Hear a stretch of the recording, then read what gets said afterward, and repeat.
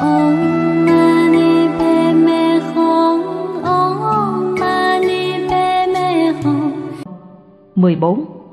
Hòa thượng giảng ngày 2 tháng 12 năm 1993 Đừng trở nên dính mắc vào lời kinh. Kinh cho chúng ta một ý nghĩa tổng quát về những gì có thể diễn ra, nhưng mỗi tình huống cá biệt đều khác nhau. Không những chỉ có 50 mà có thể sẽ có 500, 5 ngàn hoặc ngay cả 50.000 hiện tượng ma. Có rất nhiều hiện tượng đến nỗi chúng ta sẽ không bao giờ khôi nói về chúng. 50 hiện tượng ấm ma này chỉ là một tập hợp tổng quát. Quý vị đừng nên nghĩ rằng 50 hiện tượng ấm ma này như một thứ gì cao thâm, áo diệu lắm. Hãy xem những điều này như được nói ra bởi một người bình thường, đừng nên chẻ sợi tóc ra làm hư. Cách tôi giảng kinh gọi là thiển thích. Tôi không giải thích sâu xa. Khi tôi giảng kinh, mục đích duy nhất là để cho mọi người đều hiểu được những gì tôi muốn nói. Và đối với tôi là hiểu được những gì mọi người muốn nói. Đừng nên nghĩ quá sâu, bất kỳ ai suy nghĩ quá sâu xa sẽ không bao giờ thỏa mãn được sự tìm tòi giải thích. Đừng nên đập đầu vào tường khi cố gắng tìm hiểu chính xác những gì người ta nói. Tóm lại, kinh này là lời dịch, không đến nỗi cứng nhắc cố định để các ông chẳng thể thêm bớt đi một lời nào cả. Kinh này không tương ứng một cách chính xác với bản gốc Sanskrit, nên tôi chỉ cố gắng chuyển ngữ một cách tổng quát. Đừng nên phí quá nhiều thời gian truy tìm những chi tiết văn chương khoa mỹ khi dịch thuật. Đệ tử hỏi, ở mức độ trong phạm vi tưởng ấm, thiên ma không còn quấy nhiễu hành giả một cách trực tiếp nữa, mà phải chiếm đoạt một người khác mới có thể quấy phá định lực của hành giả hay sao? Hòa thượng trả lời, ví dụ như một hành giả có thể thường gặp người đã bị thiên ma nhập rồi, người ấy giảng pháp cho hành giả nghe, hay ma đến thách thức. Khảo lượng hành giả xem công phu ai cao thấp Tại Dạng Phật Thánh Thành, có một sinh viên trường đại học California thuộc bang California, thường thấy có rất nhiều rắn đi theo anh ta, mà các ông không thể nào thấy được. Nhưng quả chân lại thấy những con rắn này đến chùa Kim Sơn để đấu pháp với tôi. Nó rất hung dữ. Sự có mặt của anh sinh viên nơi đây lại khiến cho những con rắn có việc chống lại tôi. Chúng nó đã chống lại tôi suốt hơn 10 năm. Sau đó, anh ta dần dần trở nên tốt hơn nhưng ngay khi anh ta trở lại trường Berkeley thì anh ta lại trở bệnh. Anh ta nhận ra có rất nhiều rắn bên mình. Anh ta đã giết những con rắn này trong quá khứ. Bây giờ nó tìm anh để báo thù. Tôi đã dùng Phật Pháp để hóa giải chúng. Đó là lý do tại sao tôi đối xử với chúng như vậy mà bất luận chúng có lưu ý đến hay không. Đây là một tiến trình lâu dài.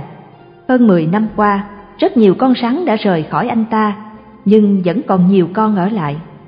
Thông thường có cả bầy rắn theo anh ta. Đây là một trường hợp tương tự như trong kinh mô tả.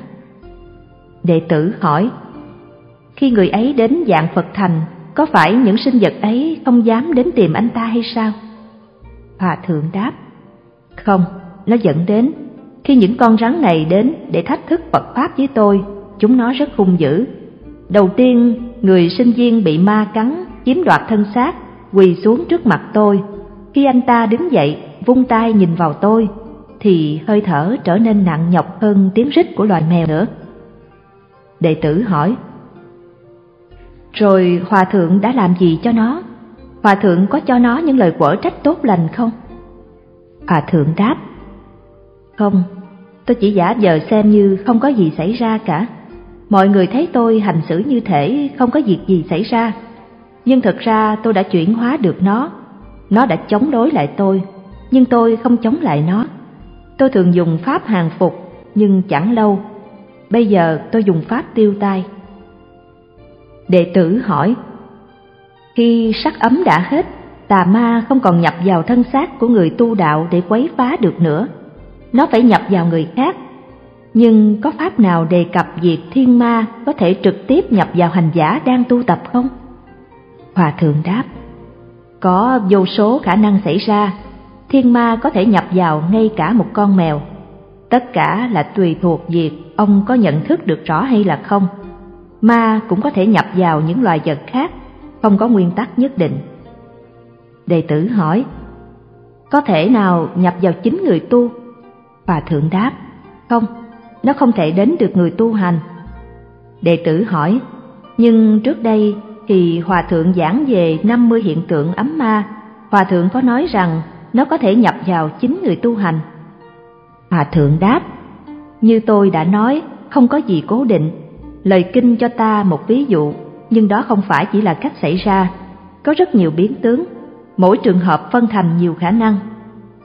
Đệ tử hỏi, nhưng không phải chính Hòa Thượng vừa nói là thiên ma không thể nhập vào người tu đó sao?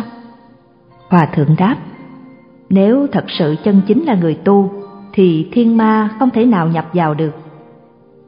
Vì có hộ pháp hộ trì cho người đó rồi. Đệ tử hỏi, còn nếu hành giả khởi lên vọng tưởng thì... Hòa thượng đáp, thiên ma liền nhập vào người ấy ngay. Đệ tử hỏi, cũng giống như khi sống trong dạng Phật thành, nếu chúng con tuân theo quy củ do Hòa thượng lập ra thì chẳng có gì quấy phá được. Còn nếu chúng con không tuân thủ đúng theo giới luật thì chúng nó sẽ đến phá. Hòa thượng đáp, những người đến đây đều có mang theo nhiều dạng tà ma ngoại đạo, yêu ma quái quỷ và những linh hồn chất dưỡng theo họ. Nhưng chư vị Bồ Tát, Hộ Pháp và Lam không nỡ xua đuổi họ đi. Ở đây chúng ta đều thực hành lòng từ bi, cho nên chúng ta không củng cố trụ xứ của mình hay đề phòng chống lại. Đệ tử hỏi, nếu mọi người thực sự chân chánh tu hành thì ma không thể nhập vào họ được. Nhưng nếu không chân chánh tu hành và khởi tâm tham đắm, vọng tưởng thì ma liền nhập hay sao? hòa thượng đáp, đúng vậy, đó là trường hợp tà dẫn đường cho tà đi. Đệ tử hỏi, nếu tà ma không thể nhập vào người tu hành ngay bây giờ, không có nghĩa là nó không bao giờ có thể nhập được.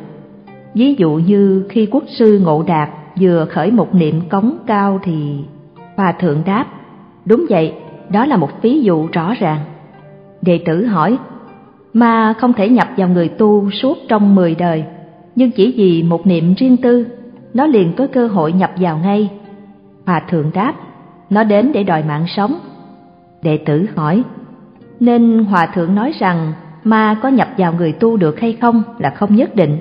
Nếu ai thật sự chân chính tu hành thì ma không thể đến gần người ấy được, nhưng nếu không tu tập được như vậy thì nó liền đến. Hòa thượng đáp, đúng thế, không nhất định. Bất cứ điều gì có thể diễn đạt bằng lời đều mất đi ý nghĩa chân xác của nó. Một khi ông đã hiểu được đạo lý này rồi, ông không nên truy tìm những chi tiết một cách vô ích nữa. Như tôi vừa nói, có vô số sự biến tướng và khả năng bất định. 50 hiện tượng ấm ma này có thể biến thành 500, 5.000 hay 50.000 hiện tượng. Đừng phí mất thời giờ vào những mô phỏng này, ông nên hiểu rằng có rất nhiều biến dạng khác nhau từ nơi đây lưu xuất mà thành. Tóm lại, bất cứ điều gì nói lên được đều thiếu ý nghĩa chân xác. Ông có thể nói rằng tất cả kinh điển đều là giả, nhưng ông phải tìm đạo lý chân thực ngay nơi cái giả này. Có những bộ kinh có ý nghĩa rất chân xác, có thể tin vào đó để tu tập. Nếu kinh không có ý nghĩa, các ông chẳng nên tin. 15. Hòa thượng giảng vào tháng Giêng năm 1983 Ngày hôm qua, mọi người đã biết có một người đang niệm danh hiệu Phật rồi bỗng dưng nhảy quanh, như thể đang khiêu vũ. Anh ta đã bị một loại ma gá vào. Anh ta không biết những gì đang xảy ra, và anh ta nghĩ, ô, ta vừa nhập định xong. Anh ta giống như đứa trẻ huyên náo, anh ta nhảy quanh như một con thỏ. 16. Hòa thượng giảng vào tháng Giêng năm 1983. Thiên ma rất thông minh, nó thấy được những gì ông đang tham cầu và liền dùng cái đó để thử thách ông. Do vậy, người tu hành không nên chỉ tụng niệm một bài chú đặc biệt nào hay thực hành một pháp môn riêng biệt nào cả.